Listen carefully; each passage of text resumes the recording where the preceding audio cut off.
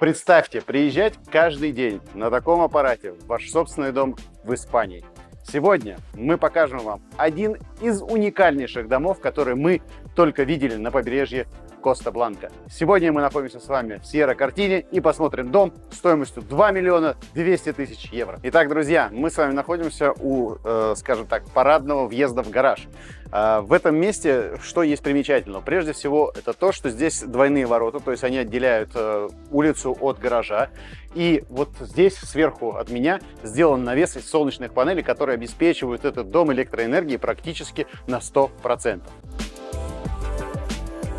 Сам гараж вы уже видели. Э, здесь сейчас стоит один мотоцикл, но в принципе здесь есть место для двух машин. И если вы такой же заядлый мотолюбитель, как и я, то у вас здесь есть отличное место для установки вашего верстака и всех необходимых инструментов для обслуживания своего железного коня. Итак, мы с вами покидаем замечательный гараж и попадаем с вами в другой гараж. Но этот гараж уже отделанный.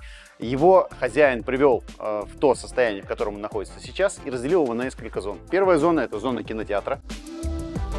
Вторая зона – это спортзона, где он установил вот этот замечательный теннисный пинг-понг стол. И зона а-ля приемный кабинет. В принципе, эту зону можно поделить еще, сделав здесь перегородку, и здесь можно установить пятую спальню. Итак, друзья, сердце дома пламенный мотор. Э, здесь установлен э, большой накопительный бак для воды горячей. Соответственно, здесь есть также система для подогрева теплых полов. Как видите, здесь разводка сделана на каждую комнату, на каждый этаж. Стоит вот такой вот э, э, котел, бойлер. Э, это система аэротермии.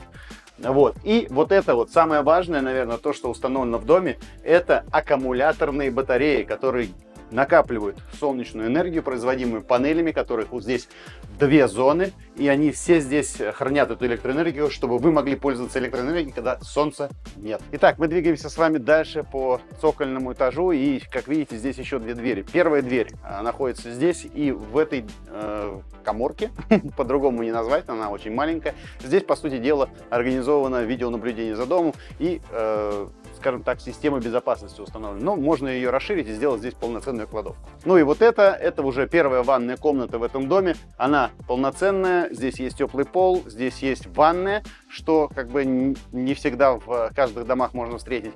Ну и вот эта зона, она раньше использовалась хозяином как кабинет и зона отдыха. Соответственно, вы можете трансформировать эту площадь как вам заблагорассудится. Важно заметить то, что каждая комната в этом доме имеет систему вентиляции и охлаждения. Здесь на этом этаже установлена отдельная машина, которая охлаждает или нагревает этот этаж по необходимости.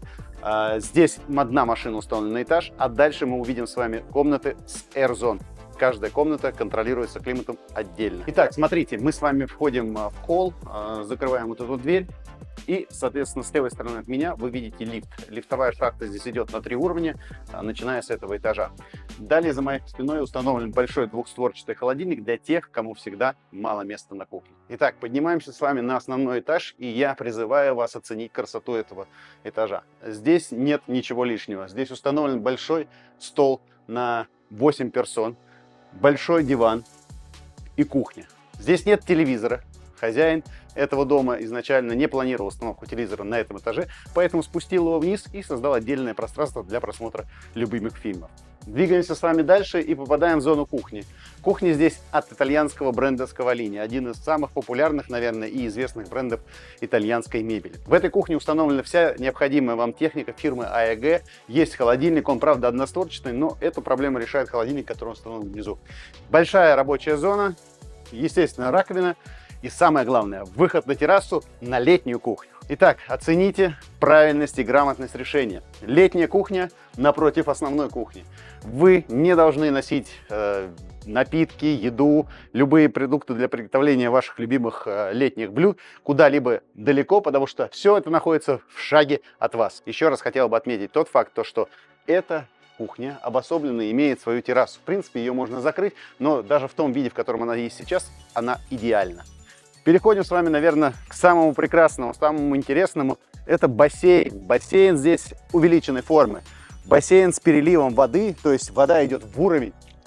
Есть джакузи и вот такая вот лежаночка, место, где вы можете разместить гамак, наслаждаться солнцем и видами на Бенидор. Двигаемся с вами дальше по террасе. Еще две зоны отдыха. Первая зона отдыха расположена вот под этими замечательными тольда. Они моторизированы и по нажатию одной кнопочки они выдвигаются и создают здесь прекрасную атмосферу затемненной площади. Пока мы с вами находимся на улице, давайте обозрим весь участок. Эта часть выходит, соответственно, с цокольного этажа. Здесь установлены машины для кондиционирования воздуха и вот такие замечательные растения, которые отгораживают вас от соседа слева. Вы его практически не увидите.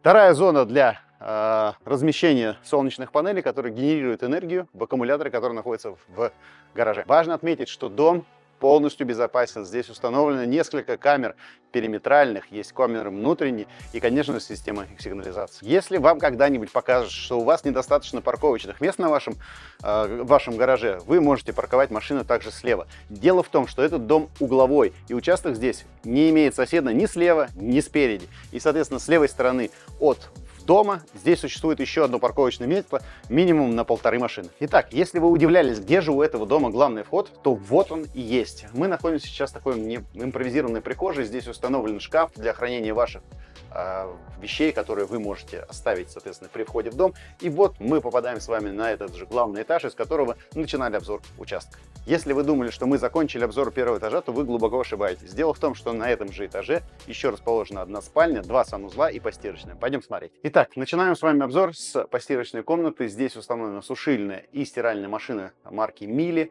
Очень классная техника и классное организованное место для хранения и чистки вашей одежды.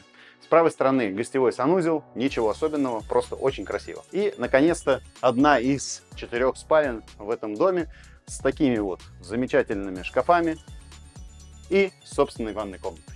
Важно заметить то, что этот дом максимально для ленивых людей, как я.